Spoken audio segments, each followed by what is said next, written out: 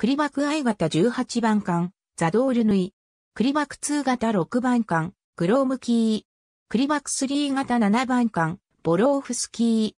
クリバク型フリゲートは、ソビエト連邦海軍が運用していた、警備艦の艦級に対して付与された、NATO コードネーム。ソ連海軍での正式名は1135型、警備艦、計画名は、ブレベースニクであった。また、その後1135型の派生型が登場したため、最初の1135型は、クリバクアイ型と呼ばれるようになった。収益当初、1977年6月28日以前は、大型対戦艦と類別されており、二等艦としては、初めて対戦ミサイルを搭載するなど、極めて強力な対戦戦能力を備えていた。その頃のソ連艦艇にしては、すっきりした外見から、西側では、ハンサム、クラスともあだ名された。その優れた設計から、国境軍向けの国境警備艦型も含めて、多数の派生型が開発されており、1960年代の登場以後、2010年代においても建造が続いている。ソ連海軍向けには1135型21隻、1135M 型11隻の計32隻が建造された。1977年までは大型対戦艦に分類されたが、それ以降すべての艦は警備艦に分類された。それらのうち、ウクライナ海軍が引き取った3隻を除く29隻がロシア海軍で運用され、加えて2000年代初頭にはインド海軍へ引き渡す前の11356型3隻が一時的にロシア海軍に在籍した。1980年代にはソ連国家保安委員会海上国境警備隊向けに派生型である11351型7隻が建造され、すべてロシア国境軍へ継承された。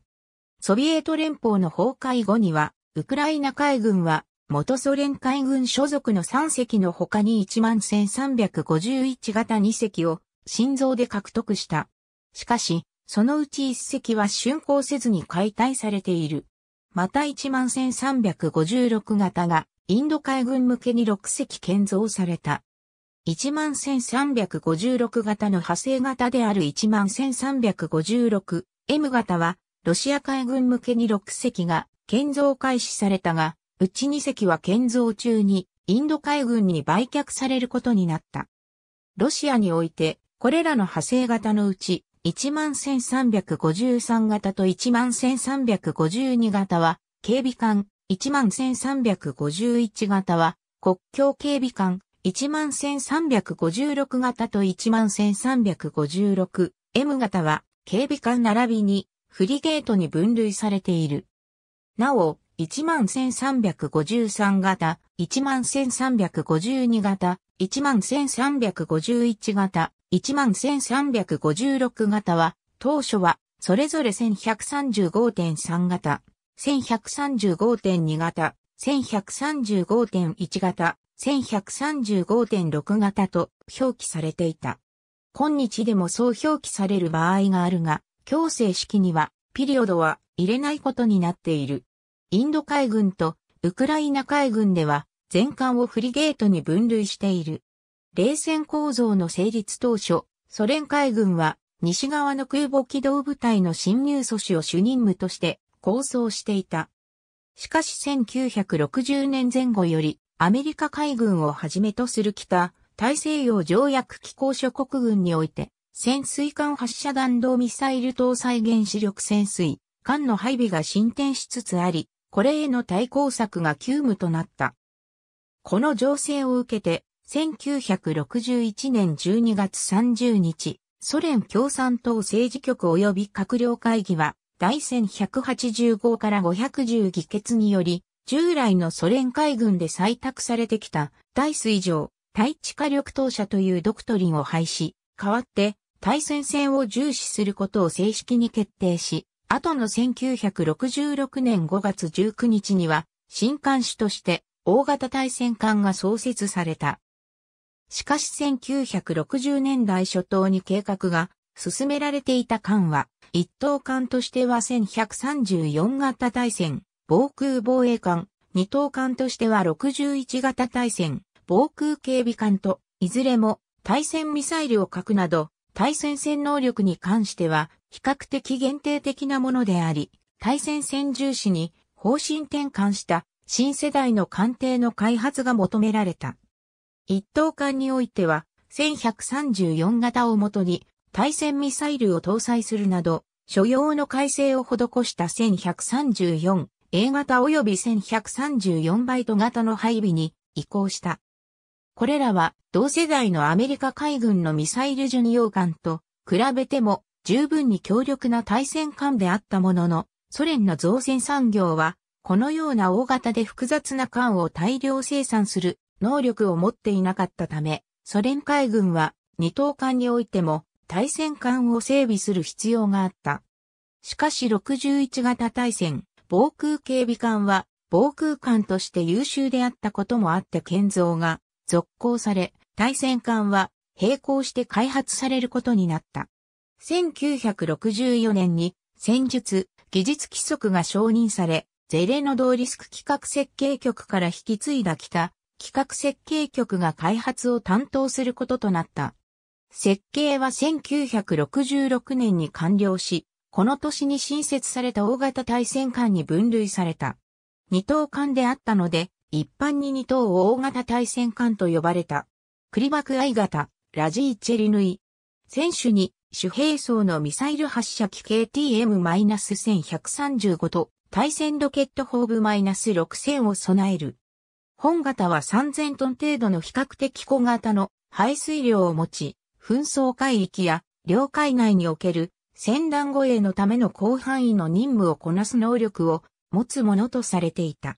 二等大型対戦艦として設計された1135型の主兵装は対戦ミサイルであり、この点で先行して同じ二等大型対戦艦に分類されていた61型よりも優れた対戦火力を備えている。その発射機は4発分を横に並べて4連装とした KTM-1135 であり、全甲板に1機が搭載された。ここに収容するミサイルは、当初は 85R 型が使用されたが、後に射程を延伸するとともに、対艦攻撃能力を付与した 85RU 型に更新された。システム名称としては、85R 型を使用するものは、ARPUC-4、メテル、85RU 型を使用するものは、アップック -5、ラストルブ B とされている。また、これを保管して、環境前には、ブ -6000、スメール値22連装対戦ロケット砲が2機並べて配置されているが、これは、海艦種の小型対戦艦と同様の配置であった。また船体中央部両舷には、クタ -53 から1135 533mm 4連装魚雷発射管を1機ずつ配置した。魚雷は対戦用のセットマイナス -65 と対艦用の53から65 K が運用でき、予備魚雷は搭載しない。クリバク2型、グロームキーの戦備。選手方向からオサー MA の格納所、2機の AK100、ソナー格納庫とその上の飛行甲板が見える。船体の前後には 4K33M、オサー M 股間防空ミサイルシステムの JIF-122 連装発射機を1機ずつダブルエンダー配置した。船尾には中高径の両用砲2機を背負い式に配置した。1135型では 76mm 連装砲 AK-726 を採用していたが、現場からの砲撃力向上の要求に応えて 1135M 型では 100mm 単装砲 AK-100 に変更された。船尾には可変振動ソナーを搭載した。1135M 型では、その収納部上部にヘリコプター甲板が設置された。その他、機雷などの運用能力もある。海上国境警備隊用の11351型及び、インド向けの11356型は、並走が異なっているが、最大の変更点は、選手の対戦ミサイルシステムの廃止と戦備へのヘリコプター用の格納庫と飛行甲板の設置である。21番艦、ポルイビストイー。クリバク I 型は1135ブレベースニク型に対して用いられた NATO コードネーム。当初は大型対戦艦として設計された。1977年に警備艦へ類別を変更された。一番艦、ブジーチェリヌイは1968年に寄港し、1970年には浸水して竣工した。その後1979年までに同型艦21隻が建造され、そのうち8隻が造船工場、ヤンターリ、7隻が造船工場、ザリーフ、6隻が AA ジュダーノフ記念造船工場で建造された。AA ジュダーノフ記念造船工場ではもう一隻の建造も予定されていたが、中止されている。全艦がソ連海軍へ引き渡され、ウクライナ海軍が2隻を保有した以外は、すべてがロシア海軍に継承されている。しかし、ロシアの経済状況に合わせて退役が進み、2010年11月現在、現役の止まっているのは、国会艦隊所属のラードヌイのみである。今後、バルト艦隊から移籍する警備艦、ネウストラシームやヤロスラフ・ムード類、新たに建造されるフリゲート、アドミラールフロータカサトーノフや11356 M 型警備艦が配備されれば退役する見込みである。11353型の一番艦、ジャールキー。改めクリバク I 型は、11353型と11352型に対して用いられた NATO コードネーム。11352型だけを念頭に、改めクリバク I 型と呼んだり、改めクリバク型、あるいはクリバク4型と呼ばれることもある。1135型警備艦、ジャールキーは、11353号計画に基づき、ソナーを新しい統合システムである MGK-365 ズベズダー M1 への換装を主眼とする回収を受け、ズベズダーの試験が行われた。この新型ソナーは、ソ連海軍の次世代型公用警備艦である11540型警備艦に採用されている。11353型への改修は1982年から1984年にかけて AA ジュダーノフ記念造船工場において施行された。排水量は基準排水量で3180トンとなり、満載排水量では3590トンとなった。11352型の2番艦、両付き。その後、ソ連時代末期から1990年代初頭にかけて1135型警備艦、レニングラーツキーコムソモーレツとプイールキーが11352型による回収を受けた。これは、レーダー MR-760、フレガ、MA、ソナーを11353型と同じ MGK-365、ズベズダー M1 に、乾燥、対戦ロケット砲部 -6000 を廃止する代わりに、環境全部に 3M-24、ウラーン対艦ミサイル4連装発射機 KT-184 を2機搭載する近代化改修計画であった。しかし、実際には対艦ミサイル発射機は設置されておらず、搭載スペースが設けられているだけとなった。アープック -4、メチェーリュアーク -5、ラストループ B に換装された。排水量は基準排水量で3330トンとなり、満載排水量では3750トンとなった。回収工事は、レニングラーツキーコムソモーレツに対しては、ムルマンスクの第35船舶修理工場で1988年から1991年にかけて施行され、プイールキーに対しては1987年から1993年にかけて造船工場、ヤンターリで施行された。11352型は有望な計画であったので本来ならばより多くの艦に適用される予定であったが、ソ連崩壊により計画は縮小され、以降の計画は中止された。バルチック艦隊所属のプイールキーは2010年代初頭まで現役であったが2012年には退役している。クリバク2型は 1135M、ブレベースニク M 型に対して用いられた NATO コードネーム。当初は大型対戦艦として設計された。1977年に警備艦へ類別を変更された。一番艦、レーズビーは1973年に寄港し、1975年に浸水、竣工した。1981年までの間に同型艦11隻が建造され、すべて造船工場、ヤンターリで建造された。主砲が AK-726-76mm 連装砲2機から AK-100-100mm 単装砲2機に変更されている。また、船尾にはヘリコプターのための発着艦スペースが設けられている。これにより、対戦ヘリコプターが限定的ながらも運用できるようになり、より広範囲の潜水艦を捜索、攻撃できるようになった。可変深度ソナーは1135型で搭載され、MG-325 ベガからより新しい MG-329 ブローンザへ変更されている。4番艦グロジャーシチーからは固定式ソナーも改良型の MG-332T チタンに T に変更された。また、同艦からラストループ B が標準仕様とされた。ガスタービン式も改良型の M-7N1 に変更された。機雷は搭載できなくなっている。全艦がソ連海軍へ引き渡され、ウクライナ海軍が一隻を保有した以外は、すべてがロシア海軍に継承されている。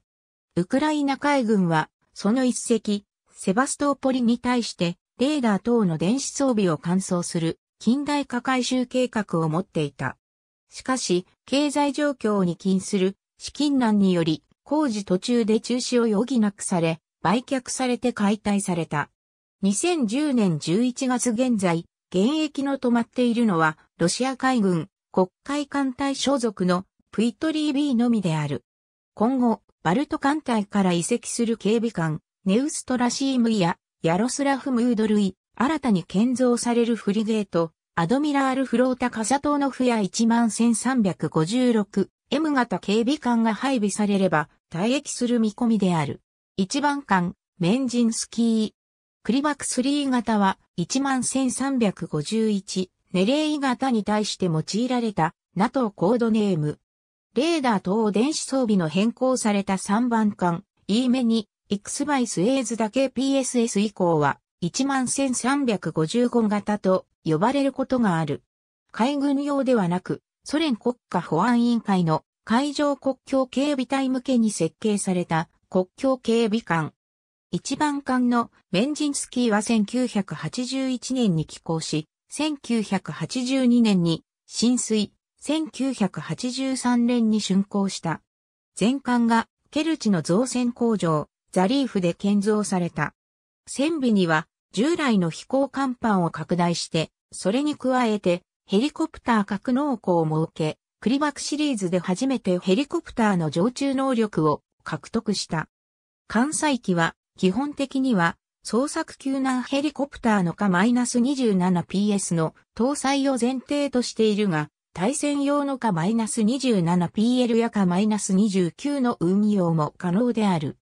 選手の対戦ミサイルシステムを廃止して、AK-100-100mm 単装砲を移設、AK-630M30mm CIWS を搭載するなど、それまでのクリバク I 型及び2型とは、関姿が一新している。ソナーは近代化され、新しい MGK-335S、プラーチナイスと MG-345 ブローンザが搭載された。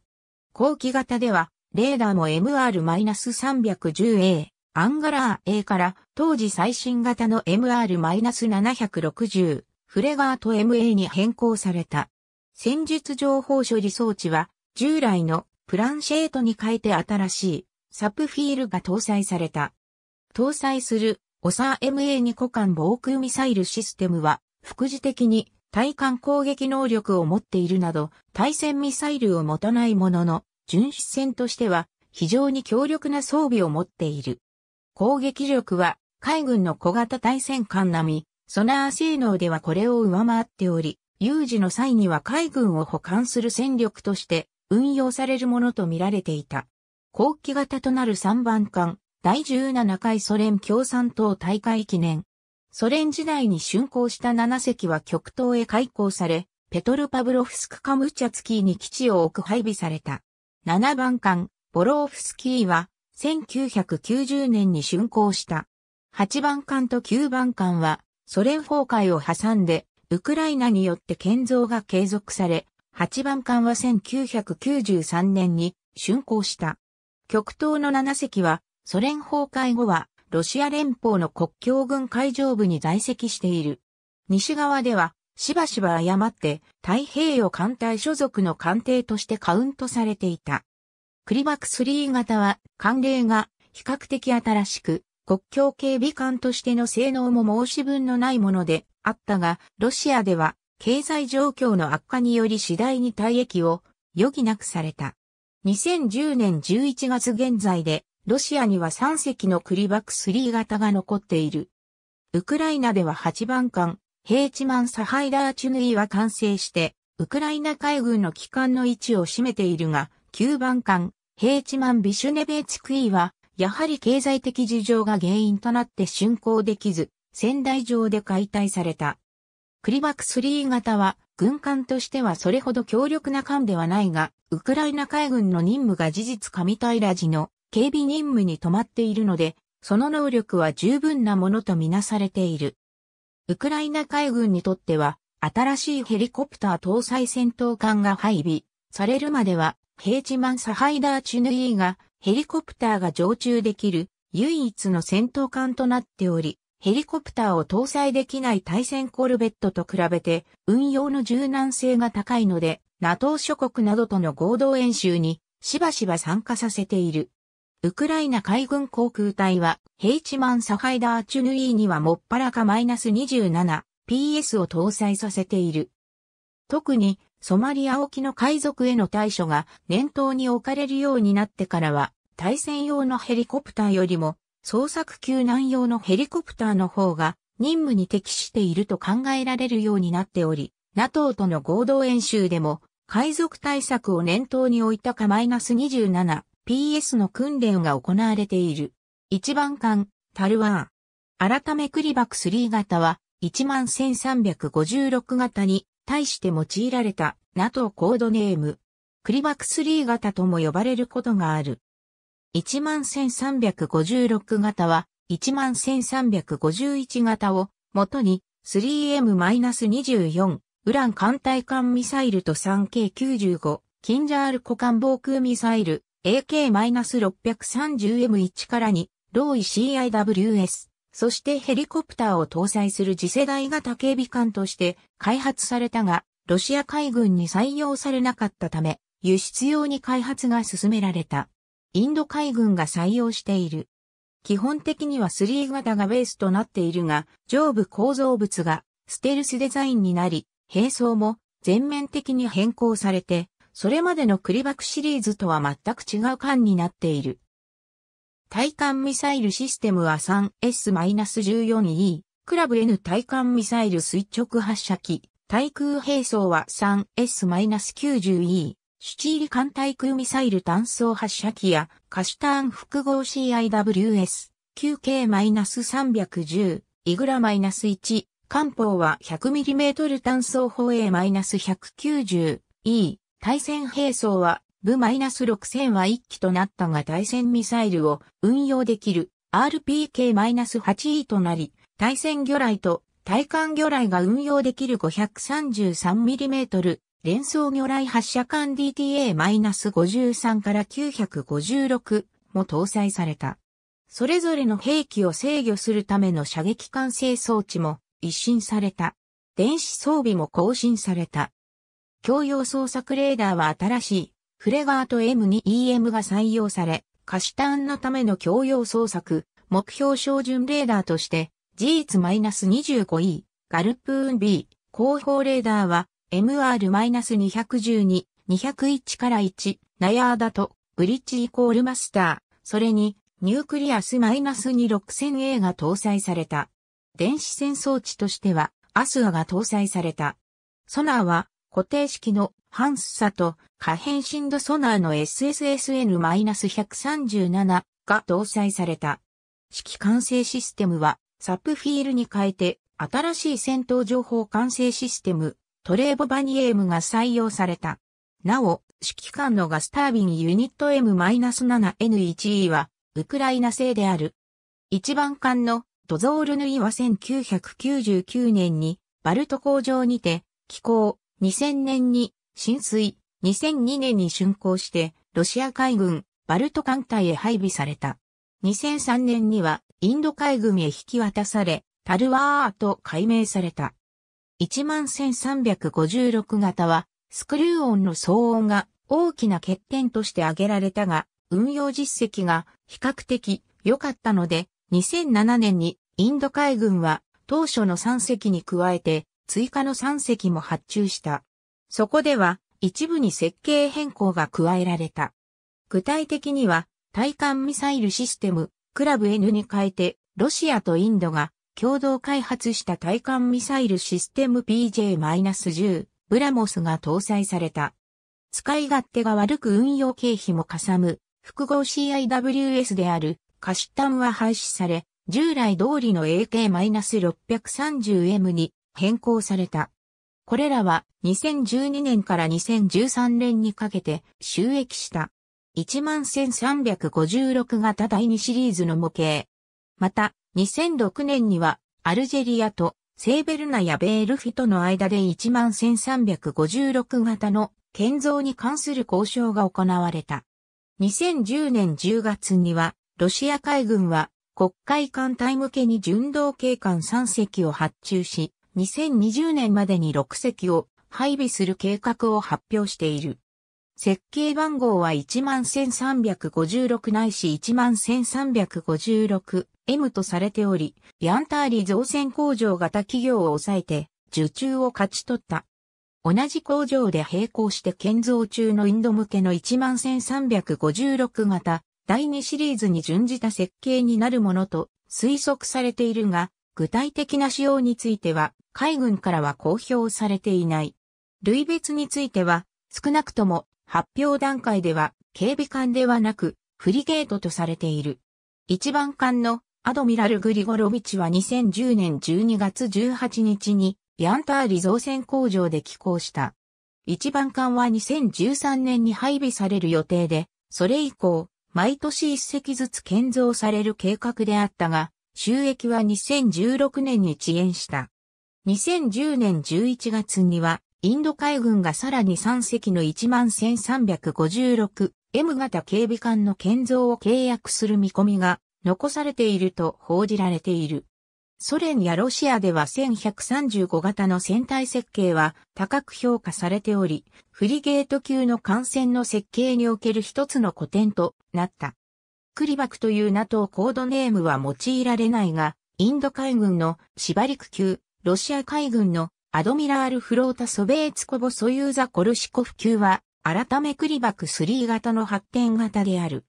22350型については、インド海軍では 17A 型フリゲートの設計に消化されており、また、アルジェリア海軍が興味を示している。22350型をロシア以外の国が導入するとすれば、輸出仕様の22356型フリゲートになる可能性がある。ウクライナ海軍の11351型フリゲートヘイチマンサハイダーチュヌイー。本型を建造した造船所は数カ所にわたり、リードヤードはロシアソビエト連邦社会主義共和国、カリーニングラード市のソイバルト海造船工場、ヤンターリであるが、このほか、レニングラード市の AA ジュダーノフ記念造船工場、原生ベルナやベールフィ、第190海軍交渉、ウクライナソビエト社会主義共和国、ケルチ市の BE、ブートマ記念造船工場、ザリーフでも建造された。海上国境警備隊並びに、ウクライナ海軍向けの3型は、全艦が造船工場、ザリーフで建造された。インドに輸出された改め3型のうち、最初の3隻は、サンクトペテルブルク市のバルト工場で建造され、追加の3隻は、造船工場、ヤンターリで建造されている。ソ連海軍のクリバク型は、中東戦争に関連する軍事任務遂行のため、幾度も地中海へ派遣されている。インド海軍とロシア海軍のクリバク型はソマリア沖の海賊に対処するために派遣されている。ウクライナ海軍のクリバク型は2010年度現在、この任務には派遣されたことがない。また、ソ連海軍のクリバク型は2度、以下のような歴史に残る事件に主体的に関与している。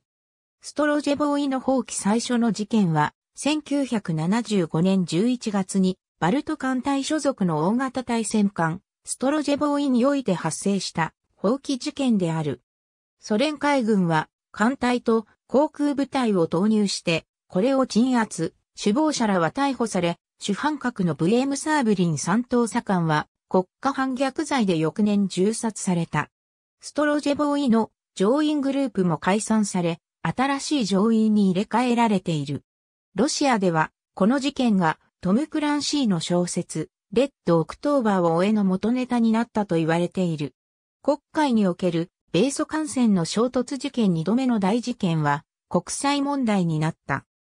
1988年、重要軍事施設が多数存在するため軍艦を侵入させないようソ連が要請していた黒海沿岸12海里の海域にアメリカ合衆国は、あえて第6艦隊所属のタイコンデロガ級、ミサイル巡洋艦、ヨークタウンとスプルーアンス級駆逐艦、カロンを侵入させ、沿岸施設や艦船に対する電波偵察を実施した。これに対し、国海艦隊は、国境警備艦、イズマイルと捜索救難艦、ヤマールに両アメリカ海軍艦を監視させるとともに、警備艦、ベズザベートヌイ並びに、SKR-6 に対し、警告を無視して、ソ連領海へ侵入しようとしている、アメリカ海軍艦へのスクランブルを命じた。これを受け出動した2隻の警備艦は、2月12日、ヤルタとフォロースの間の海域において、アメリカ海軍艦を捕捉した。午前9時45分、ベズザベートヌイは、ヨークタウンに対し、領海侵犯することになる、現在の進路を変更する、よう要請する最初の信号を発信したが、ヨークタウンは返答しなかった。ベズザベートヌイは、艦隊参謀長の指示に従い、ソ連の法律に基づき侵入が禁止されている、海域への侵入進路を取っていることを知らせ、進路を変更する、よう要請する無線を、ヨークタウンへ送った。10時15分、ヨークタウンは、時間は何も侵害しておらず、国際法に基づいて行動しているという返信を送った。これに対し、国会艦隊司令官 MN フロノプーロ、海軍大将は、ベズザベートヌイを通じ、ヨークタウンが領海侵犯を行った場合、体当たりによって、これを領海外へ押し戻すという通告を行った。同時に、ヤマールに対し体当たりに備えるよう指令を下した。しかし、ヤマールは分厚い尖閣を持ち砕氷能力もある、頑丈な元木材運搬船で体当たりには最適の船であったが、速力が 15kn しかなく、アメリカ海軍の軍艦に追いつくことができなかった。結局、ヤマールはこれ以降の軌道についていくことができず、体当たりの重責は警備艦に託されることになった。アメリカ海軍のミサイル寿命艦、ヨークタウンに体当たりする警備艦、ベズザベートヌイ。10時45分、ヨークタウンは手旗信号を用い、無害通行の権利を行使し、進路は変更しないと通告した。その瞬間、ヨークタウンはソ連領海の境を越えて侵入し、カロンもこれに続いた。イズマイールはソ連領海を侵犯しているという警告を発した。SKR-6 はカロンの功績を追尾し、カロンは体当たりをかわそうと増速した。ベズザベートヌイはヨークタウンの左舷に並んだ。ソ連艦は直ちにソ連領海を去るようアメリカ海軍艦に警告を発した。しかし、アメリカ海軍艦は進路を変えずにクリミア半島沿岸を進み続けた。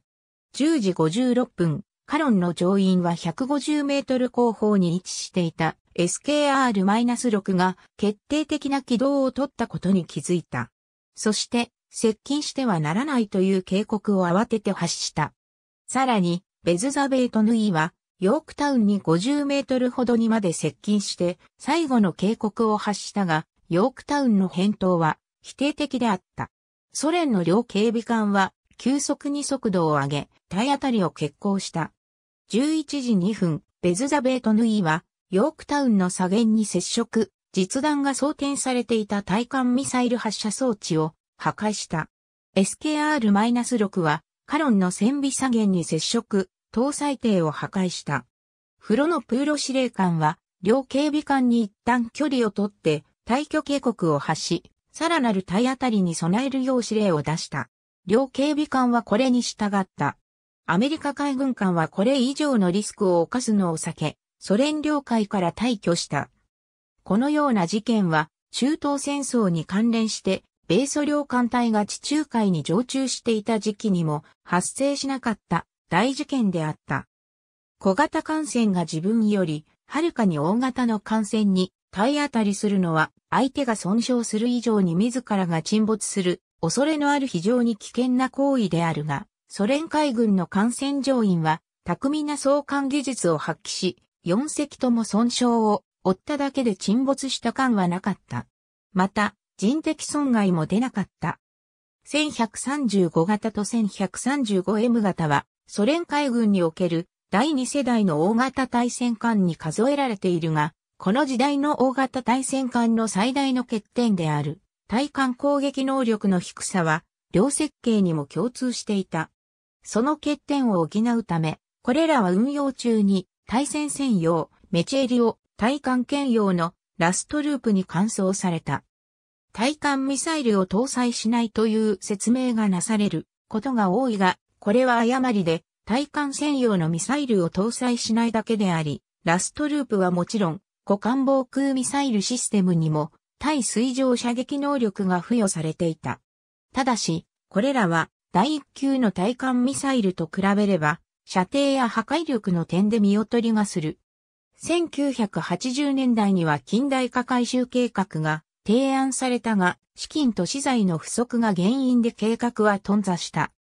11351型は海上警備用の艦船であったが、対艦、対戦ミサイルの欠如を除けば、軍艦並みの強力な装備を有していた。しかし、その高度な設備は、経済状況の悪化を受け艦の寿命を縮めた。